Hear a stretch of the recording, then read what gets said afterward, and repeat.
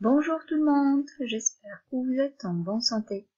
Nous allons commencer notre leçon de mathématiques d'aujourd'hui par une petite histoire qui parle d'un petit garçon qui s'appelle Simon. Simon a besoin de résoudre un problème, mais sa sœur vient tout le temps le déranger. Il ne peut pas réfléchir. Comment peut-il faire une addition sur le dérange tout le temps?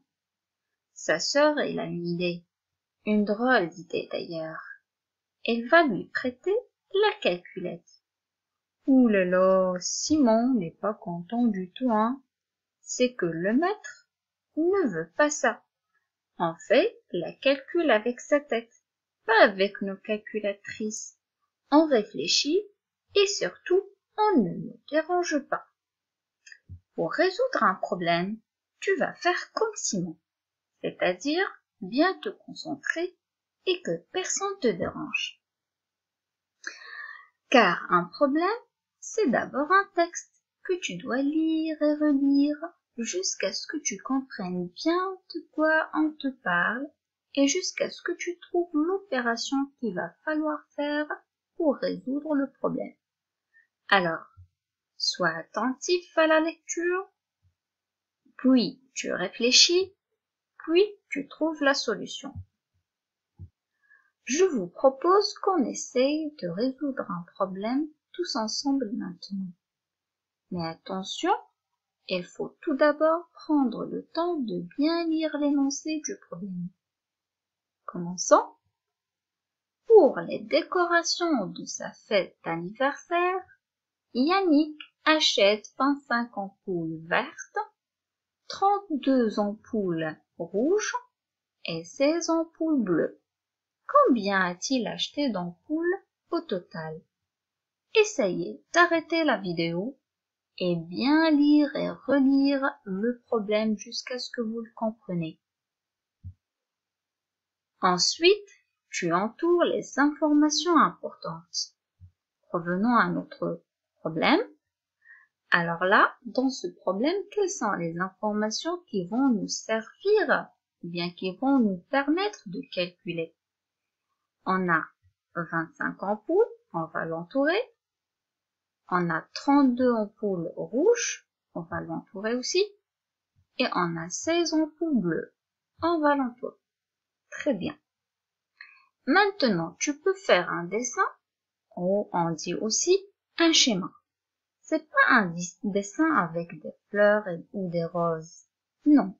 Tu vas juste dessiner ce qu'il te faut comme une information à connaître. D'accord? Donc tu réfléchis bien et tu fais un schéma.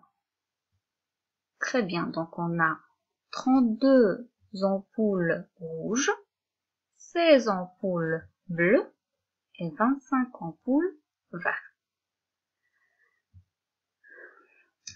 Qu'est-ce que l'on te demande?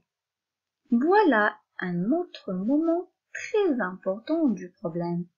Tu dois réfléchir à ce que tu dois trouver.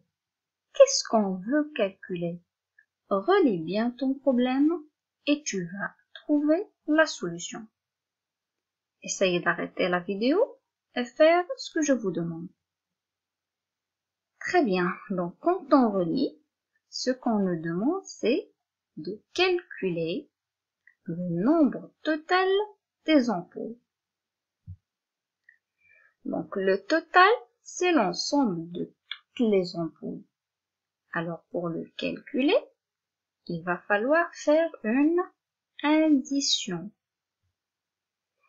Tu fais bien la bonne opération, ainsi tu peux calculer.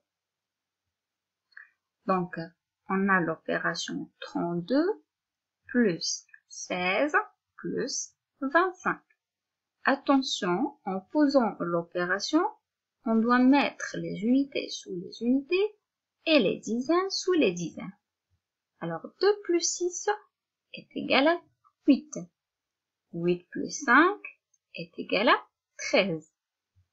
On écrit 3 et on retient 1 avec les dizaines. 3 plus 1 est égal à 4. 4 plus 1 est égal à 5. 5 plus 2 est égal à 7. Le résultat est donc 73. Attention, sur ton cahier, tu dois écrire l'opération que tu as faite, mais aussi la phrase réponse.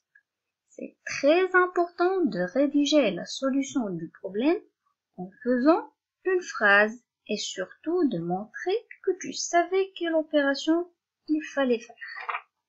Donc on écrit l'opération sur la ligne, comme ça, et on donne la phrase réponse. Yannick a acheté 73 ampoules. Et avec ceci, on est arrivé à la fin de cette vidéo. Prenez soin de vous et à la prochaine.